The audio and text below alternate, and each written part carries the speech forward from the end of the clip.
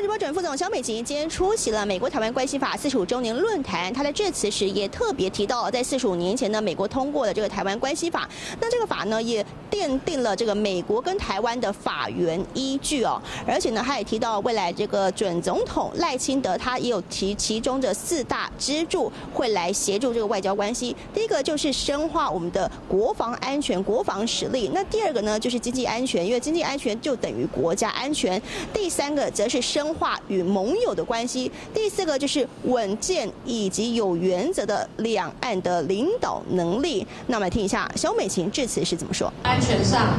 为了应应台湾所面临的安全威胁，美国除了台湾关系法所承诺的传统军售之外，近年国会也透过立法提供了包括总统提用权 （Presidential Drawdown Authority, PDA）、外国军事融资 （Foreign Military Financing） 以及国际军事教育与训练。International Military Education and Training (IMET) 等等的政策工具，来协助台湾强化我们防卫的能量。